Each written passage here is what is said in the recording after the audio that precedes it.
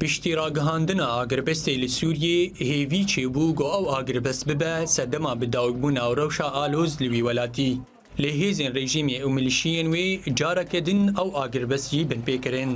û hewl dan ku deverên din li Sûriyê di dema wê agiribistê de kontrol bikin. Li vê barê çalakvanan ji bajarê Idlibê diyar kirîn ku firokeyên hevbeşê rejîmê û Rûsyayê ji danê sibehê ve dest bi armancekirina bajarê Cisr-e-Şigur û hin deverên din li Idlibê kirine. Di heman demê de çalakvanan ji bajarê Himsê dan zanîn ku avêjtoka hêzên rejîmê bi tundî malên welatiyan li herdu bajarên Restin û El-Holê topbaran kirin û di encama wan êrîşan de sivîlek şehîd bû û hejmarek din jî ji sivîlan birîndar bûn. Her wisa jêderên xucehî ji bajarê Hemayê ragihandin ku firokeyên rejîmê gundên Xidêra û hejmarek gundên din li navçaya Eqrebat armanc kirin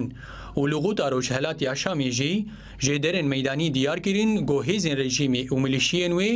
êrîşî bajarê Dûma kirin û hewl dan ku ber bi kampa Wafidîn pêş bikevin. Her li ser mijara binpêkirinên rejîmê û milîşiyên wê ji agirbestê re, çalakvanan ji bajarê Der'ayê diyar kirin ku avêştoka rejîmê taxên Der El Beled, Yaduda, Tariq El Sed û bajarokê Komraman topbaran kirin û li wir jî hejmarek ji sivîlan birîndar bûn.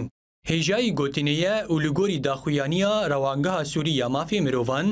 ji destpêka ragihandina rêkeftina agirbestê ya Rûsî-Tirkî, hêzên rejîmê heftê û heft caran ew agirbest binpê kirine.